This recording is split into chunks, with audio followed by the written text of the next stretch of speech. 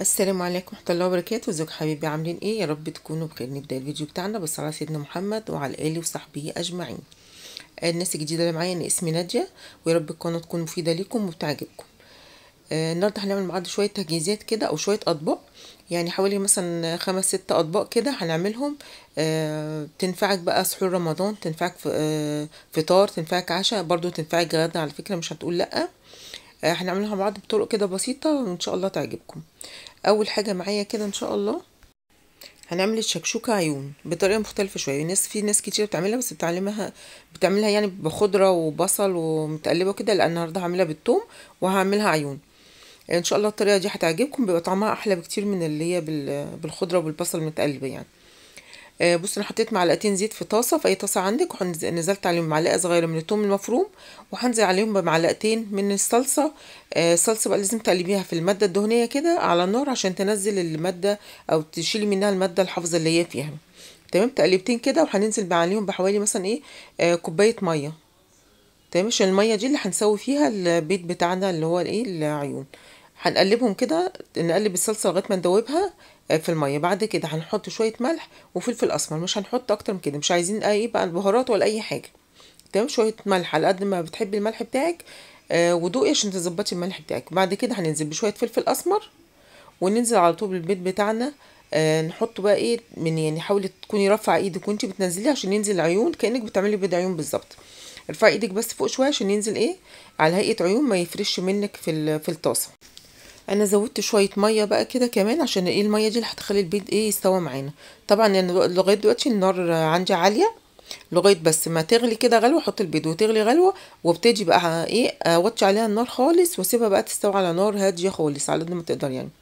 هنا هنبعد بس مكان البيض عشان ميبقاش كله لازق في بعض كده.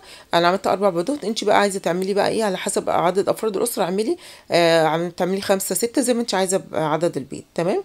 حطيت على الوش شوية فلفل أسمر كده وقلبتها وهديت النار خالص وسبتها بقى إيه؟ تستوي مع نفسها.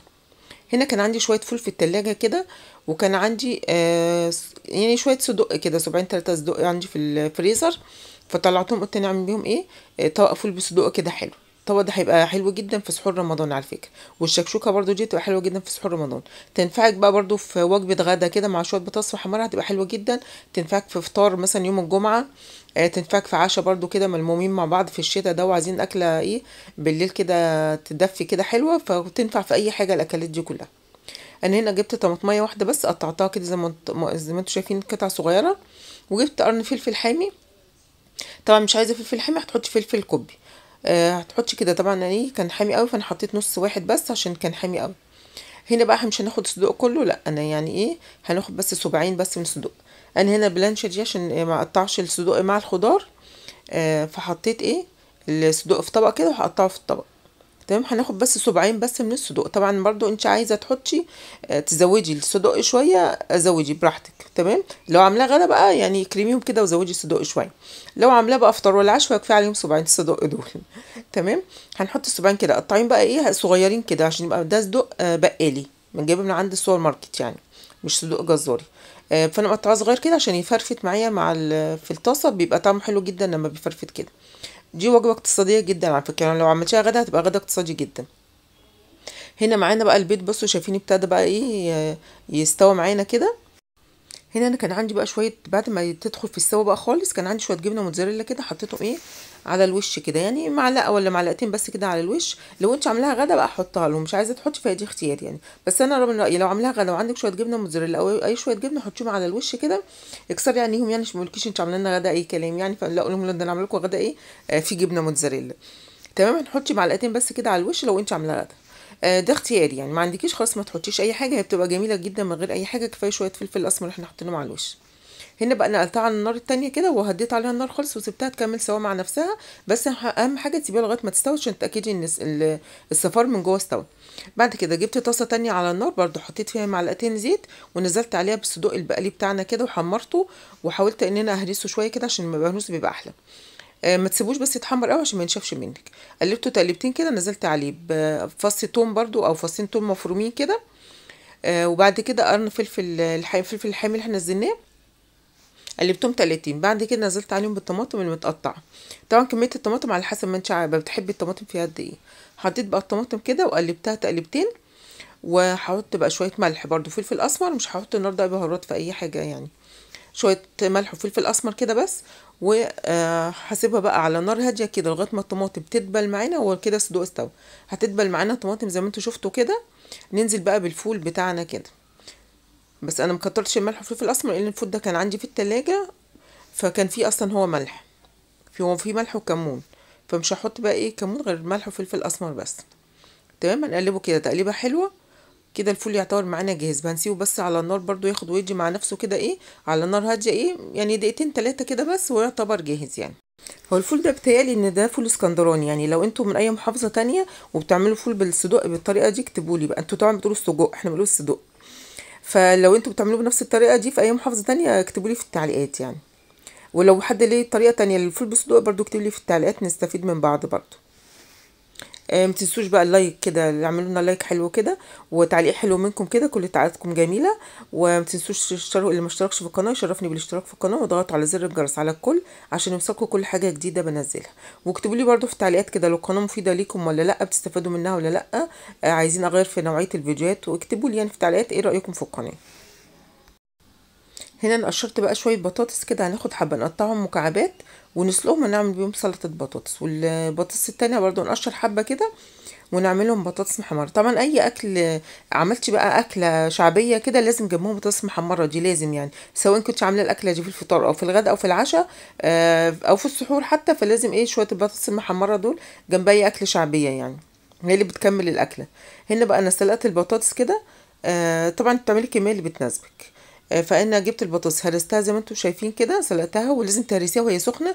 ما تاخدهاش تحطيها في التلاجة كده مش هتتهرس معاكي أو تركنيها لغاية ما تعملي حاجة وتقولي لغاية بعدين أبقى اهرسها لا البطاطس ادام اتسلقت لازم تتهرس في ساعتها لأن لو ما هرستهاش هتلاقيها آه، جرمزت معاكي كده ومش هتتهرس معاكي بسهولة. بس هنا هنجيب بقى هنا معلقة هريسة شطة. دي هريسة شطة كانت عندي في الفريزر. حطيتها كده إيه؟ وحطيت عليها بطاطس سخنة عشان تفك معايا بسرعة. هنحط عليها برضو معلقة كده من الثوم المفروم برضو صغيرة خالص. آه ونحط برضو شوية زيت شوية كمون شوية ملح. آه عايزة تحطي شطة تاني حطي شطة.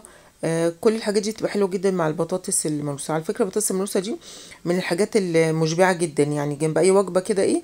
آه بتشبع. بس هنقلبها كلها كده ونحط لها شوية آه، زيت برضو تاني كده لو لقيت فيها محتاجة شوية زيت. آه، وهي على فكرة من الحاجات اللي بتاكل ساقعة ما بتاكلش سخنة يعني. حطيت بقى كده شوية بقدونس ممكن عايزة تقلبي البقدونس جواها أو تحطي على الوش فأنا حطيتها إيه؟ على الوش. هنا كان عندي بقى بدنجانية كده في التلاجة برضو قلت إيه أف- بحب أفتحها كده قبل ما أشويها اخدها شوية على النار بفتحها كده بس عشان تنزل الزيوت اللي فيها وخدتها كده حطيتها على صاجة على النار.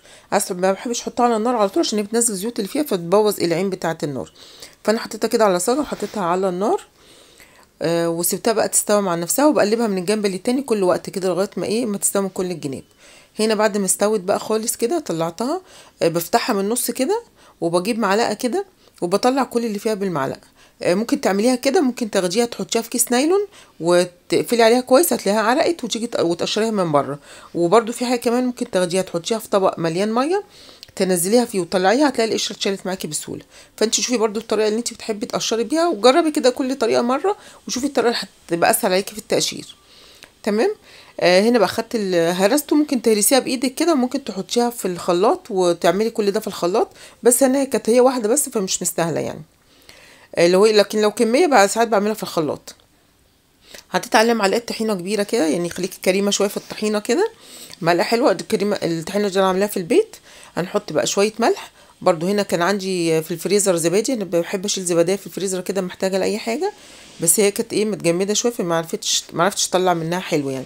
فأخدت معلقة واحدة بس من الزبادي ما تكتريش دي اختياري برضو عايزة تعمليها اعمليها مش عايزة تعمليها ما تعملهاش. أه حطيت برضو معلقه الزبادي كده وهرستها معاها مع معلقة توم صغيرة مفرومة التوم النهارده ال- البطل بتاعنا في الأكل يعني مفيش أكلة ما حطيناش فيها توم.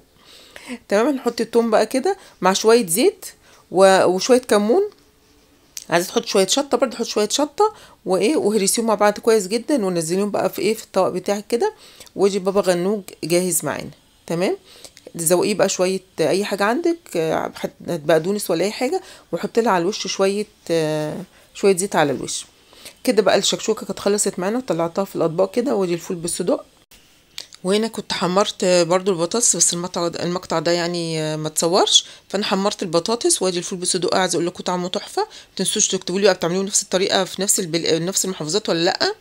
وادي الشكشوكة بتاعتنا نجربوها بالطريقة دي برضو هتعجبكم جدا. عايزة تعمليها برضو اللي هي المتقلبة بس دي يعني تغيير بيبقى طعمها أحلى بصراحة. إحنا عندنا في البيت بنحب دي أكتر يعني.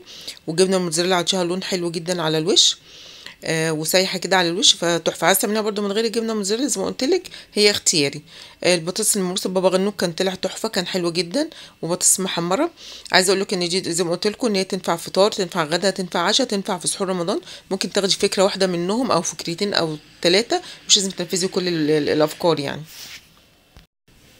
ويا رب الفيديو يكون عجبكم واستفدتوا منه وأشوفكم إن شاء الله في فيديو جديد.